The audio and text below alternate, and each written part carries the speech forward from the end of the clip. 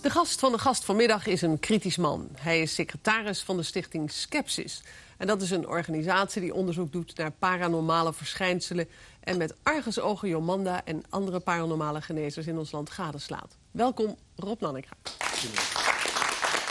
Rob, mm, je kent Jomanda overigens niet. Jullie hebben elkaar nog nooit uh, in levende lijf ontmoet. Uh, waar komt jouw belangstelling voor paranormale verschijnselen vandaan? Ja, ik ben hoofdzakelijk geïnteresseerd in uh, wetenschappelijk onderzoek... naar paranormale verschijnselen of buitengewone dingen. Om te kijken van, ja, hoe zit dat nou eigenlijk in elkaar? Wat steekt daarachter? Wat is de beste verklaring voor bepaalde verschijnselen? Mm -hmm. dat wetende, geloof jij in de goddelijke kracht van Jomanda? Nou, de goddelijke kracht, dat is meer een soort religieuze uitspraak die u nu, nu doet. Hè, als je mm -hmm. zegt goddelijk.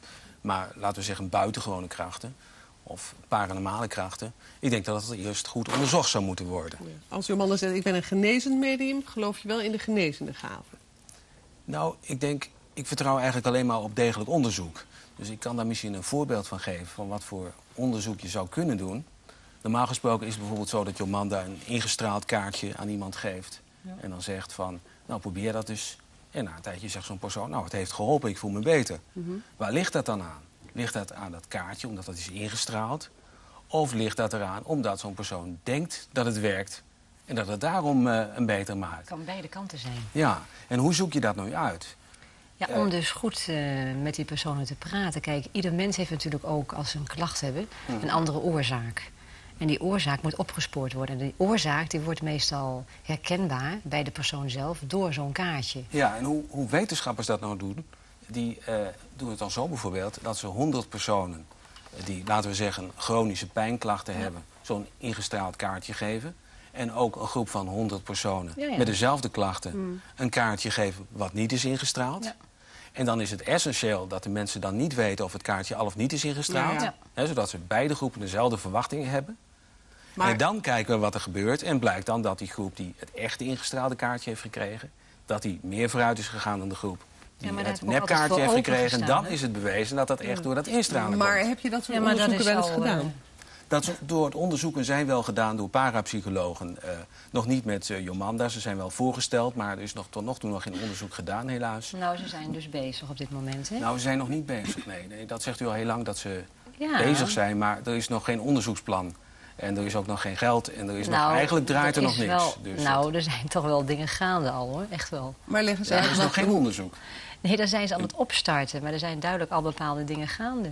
Wat voor onderzoeken gaan er, gaan er gebeuren, jongen? Dat is een wetenschappelijk onderzoek die wordt mm -hmm. opgestart met verschillende mensen, ook met verschillende klachten. En kijk, men moet ook objectief blijven, daar ben ik ook helemaal voor. Ik wil ook helemaal niet weten hoe dat onderzoek verder gaat verlopen. Nee, maar kijk, na een aantal maanden. Of de straaltjes, alles, of de. Alles, ja. Maar er zijn dus nog geen uh, afspraken over gemaakt. Er zijn ook wel voorstellen gedaan door parapsychologen. Ja, ja. Bijvoorbeeld een, een, simpele test zou zijn dat. Uh, u een aantal kaartjes krijgt die al of niet zijn ingestraald. En dat u ja, ja. bijvoorbeeld probeert om vast te stellen welke kaartjes, welke kaartjes zijn ingestraald en welke kaartjes niet zijn ingestraald. Ja. Maar zou je dat, willen, kijk, zou je dat willen doen? Ik heb er al jaren om gevraagd. Hè. Kijk, maar waar, waar, waar, waarom schakelen we dat dan niet even kort? Waar besluiten we dat niet kort? Ja, maar dat heb ik al zo vaak gevraagd. Ik heb dus ook uh, de Stichting Skepsis al jaren geleden uitgenodigd om vo volledig aanwezig te willen zijn. En toen kregen ze de mensen niet bij elkaar. Dan zeg ik ja. Ja, maar dat is natuurlijk geen onderzoek.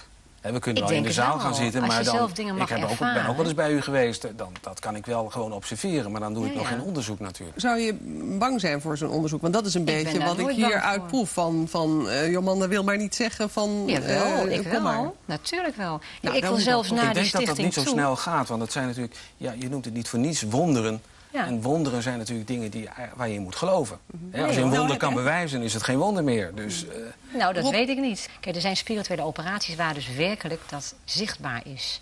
Ook zelfs met Die littekens bedoelt u zijn dan ja. zichtbaar. En dat, dat vind ik toch... ook altijd zo vreemd. Ja, maar waarom? Toch van de gelegenheid gebruik maken om eens te vragen van... Hoe, dat zijn toch geesten die opereren? Ja. Snijden die dan echt in het vlees? Gebruiken die dan echt echte naald en draad? Dat er lichttekens moeten ontstaan? Ja, dat zijn de tastbare bewijzen. Kijk, dat is wel als vreemd. Arts... Als die geesten niet tastbaar zijn, dat ze dan wel Nee, dat is juist voor de mens noodzakelijk. Kijk, jullie willen onderzoek, jullie willen dat zien, dan wordt het ook gedaan. Maar wel op de manier waarop zij dat wensen. Dus het hoger mag je nooit dwingen. En als dat gebeurt, dan ben ik een hele voorstander van, heb ik altijd al gezegd. Maar voor mij mag voor in de hal een kleedhokje dat iedereen wordt onderzocht daarna de healing doet en daarna weer onderzocht op littekens, dan een arts daar direct bij, Nou. foto maken, wat is daar weggehaald? Medische rapporten zouden dus ook al veel doen. Want u zegt altijd dat er toch allerlei wonderen zouden hebben plaatsgevonden. Maar Ja. tot nog toe eh, heeft u geen medische rapporten kunnen Zo, leveren. en dat is het probleem. Dat is wel waar, die heb ik wel. Ik heb eh, een aantal keren heb ik u voor de televisie horen zeggen dat u een Ja. blind meisje had genezen. Ja. Zeker Mieke de Katten in ja, en dat België. is ook waar. Een paar maanden geleden heeft u dat gezegd. Laatst nog weer met professor Smalhout heb ik het nog weer gezien. Ja hoor. Eh, dat geval is dus eh, gecontroleerd door dokter Ewald Vervaat... die daar een artikel, over, artikel over heeft geschreven in Dat ons tijdschrift. Dat dat gecontroleerd is. Ja. En wat kwam daaruit? Wat blijkt, eh, er is geen enkele aanwijzing dat het meisje ooit blind is geweest. Ho, ho. Hij heeft gepraat met de onderwijzers van het meisje. Maar het dossier van de arts heeft hij niet gezien en daar staat het in. Er is, En is dan geen moet je medisch ook- dat is Beschikt u over een medisch dossier Dat daarvan? meisje heeft het medisch dossier in haar bezit. Maar ik heb begrepen dat die ouders dat kan dat dan niet getoond worden? Omdat zij dat niet willen.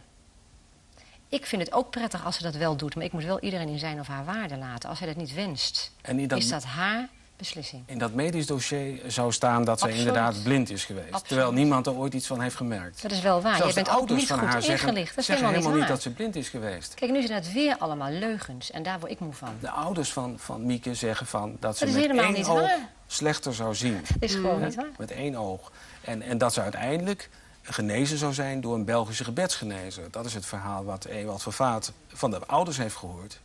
Kijk, Wordt dit ook grote, gesprek... grote twijfel. Maar hier, we hebben geen ik kan geen bewijzen gewoon- hier op tafel leggen. Wat Nee, dat nou kan nooit. Dat Wat, wat ik eigenlijk Had wel jij met willen weten, bewijzen als, moeten je, komen als je wist dat het niet zo was? Hè?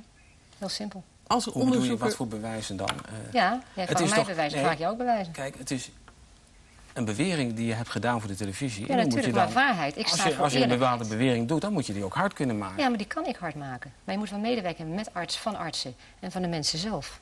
En die krijg je kennelijk niet. Is er wel eens Nou, een moment geweest waarop je twijfelde...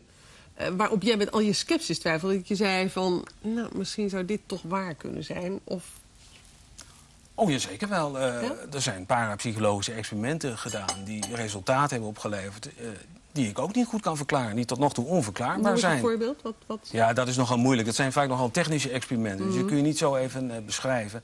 En die, en die, eh, ja, die effecten zijn ook niet echt zo heel wonderbaarlijk. Het zijn meestal maar hele kleine effecten. Alleen maar statistisch, als je dan precies gaat tellen... dan denk je van, hé, dat is toch wonderbaarlijk. Ja. Maar Kun jij in alles wat Jomanda doet, want je volgt dat natuurlijk zeer... toch ook nog iets positiefs ontdekken? jo, ja, zeker wel. Ik denk dat er... eh, ik zie het eerder in eerste instantie...